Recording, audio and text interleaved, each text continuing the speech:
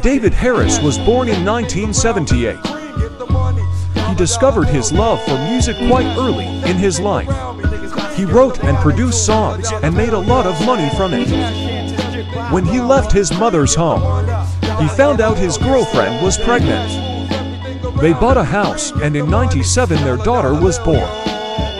They named her Brittany. As she grew up, David continued making tracks. He gave her all the love he never had as a child. While he was working at home, his girlfriend Kathleen went to school to become a doctor. After she graduated, David proposed. In 2005, they got married.